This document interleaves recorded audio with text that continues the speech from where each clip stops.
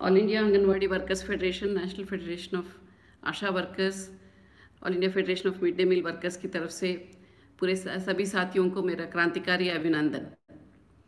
आज दिल्ली में जो हो रहा है, किसान का बड़े से बड़ा मोर्चा पिछले लगभग 25 दिन से, उसमें अगर देखा जाए तो हर दिन जो है कोई ना कोई अपने किसान साथी मर जा रहे इतने आज तक करीब पैंतीस लोग किसान मर जाने के बाद भी अभी अपना जो यूनियन गवर्नमेंट है, जो कि किसान लोग जो है थ्री एक्ट्स को वो कैंसिल करने के लिए जो डिमांड कर रहे हैं, उसको सुनने के लिए अपने यूनियन गवर्नमेंट तैयार नहीं है।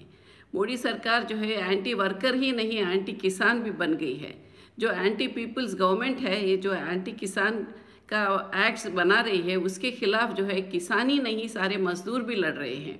हम ए का अफिलिएटेड जो आंगनवाड़ी, आशा और mid day meal workers unions है, मैं डॉक्टर विजय लक्ष्मी उसका जनरल सेक्रेटरी और मिड डे मील वर्कर्स का चेयरपर्सन मैं बात कर रही हूँ हमारे तीनों फेडरेशंस की तरफ़ से। हम किसान का जो मोर्चा चल रहा है उसका हम पूरे से पूरा समर्थन दे रहे हैं। और हमारी तरफ़ से भी हर जगह पूरा देश में आ, हम लोग आ, उसका सपोर्ट में हम लोग रैलीज़ वगैरह निकाल रहे हैं मीटिंग्स कर रहे हैं हमारे वर्कर्स को भी समझा रहे हैं। और पूरे के पूरे आंगनवाड़ी वर्कर्स और ASHA mid day meal workers जो है किसान के साथ है।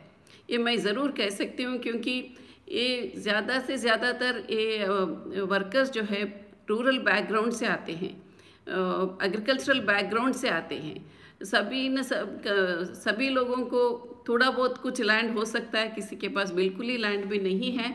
फिर भी जो है, जो रूरल बैकग्राउंड से ये सभी लोग जो आते हैं तो ये सभी लोग ये चाहते हैं कि किसान को कुछ भी नष्ट ना हो।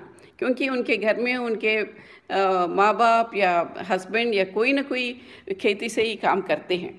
और खेती में जो काम करते हैं, ज़्यादा से ज़्यादा 75 परसेंट लोग जो है आज स्मॉल और मार्जिनल फार्मर्स है। और ये नया एक्ट से जो कॉरपोरेटाइजेशन होने वाला है कॉरपोरेटाइजेशन के वजह से मिडिल और स्मॉल फार्मर्स जो है ज़्यादा से ज़्यादा इफ़ेक्ट होने वाले हैं। वो लोग पूरा अपना लैंड भी खो खोने खोने का चांसेस है और अपने खुद का लैंड में वो लोग वर्कर्स बन के डेली वेज अर्नर बन के उनको काम करना पड़ेगा। जो आज किसान जो पूरा देश का बैकबोन माना जाता है, वैसे किसान का बैकबोन तोड़ने का ये सरकार जो काम कर रही है, उसके खिलाफ जो है पूरे पूरे वर्कर्स पूरे स्कीम वर्कर्स और पूरे अनऑर्गेनाइज सेक्टर के वर्कर्स भी किसान को अपना सपोर्ट दे रहे हैं और मज़दूर और किसान मिल के एक साथ मिल के काम करने के लिए तैयार है और हम ये किसान ही नहीं, पूरा पॉपुलेशन भी अफेक्ट होने वाला है। क्योंकि ज़्यादा से ज़्यादा चाइल्ड लेबर भी बढ़ेगा, क्योंकि अर्निंग मेंबर्स कम हो जाएँगे अर्निंग्स कम हो जाएँगे। तो बच्चों को स्कूल छुड़ा के जो है खेती में लगा देंगे और स्कूल ड्रॉप आउट का रेट और बढ़ जाएगा। और अभी जो आंगनवाड़ी और आशा का बेनिफिट जो मिल रहा है मेल न्यूट्रिशन कम करने का, वो मेल न्यूट्रिशन बढ़ जाएगा। एक ही अगर सेंटेंस में अगर बोला जाए तो food security will be lost so ये पूरा पॉपुलेशन अफेक्ट होगा।